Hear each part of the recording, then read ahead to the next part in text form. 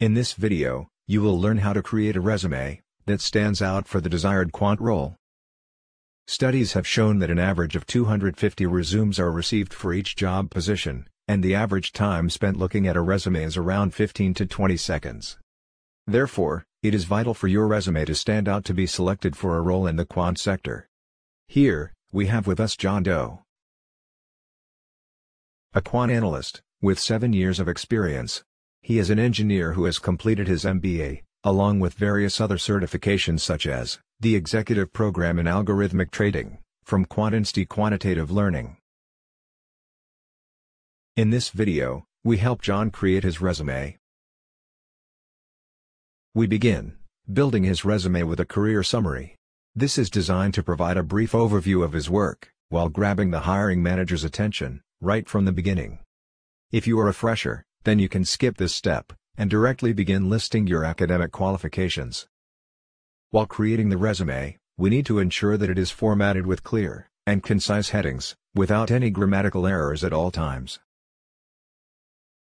We add his academic qualification. We add his highest qualification first. Next, we add his the skills relevant to his profile. For example, quantitative analysis, risk management, knowledge of investment products, so on, and so forth. If you are a fresher, you can add the skills that you may have picked up during the course of your academics.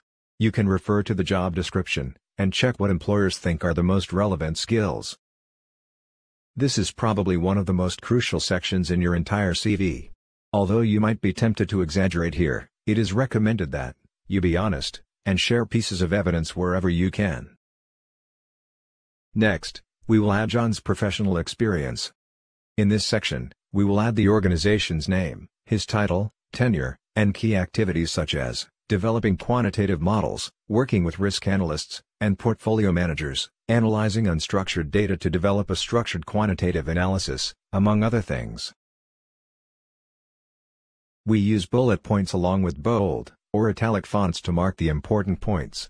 Remember you will need to mention your career progression in the same company, if you have moved into a new role, or received a promotion. Achievements like a green belt for automation, and cost saving, the Best Employee Award, and other accomplishments.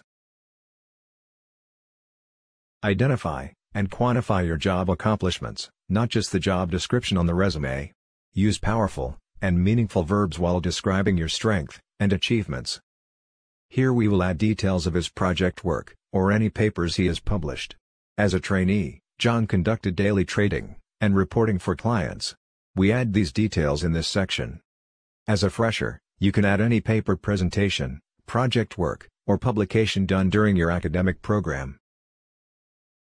Remember, to keep this section, to a maximum of two projects, or paper presentations. Use jargons like, DMAT, only if it is common to the field.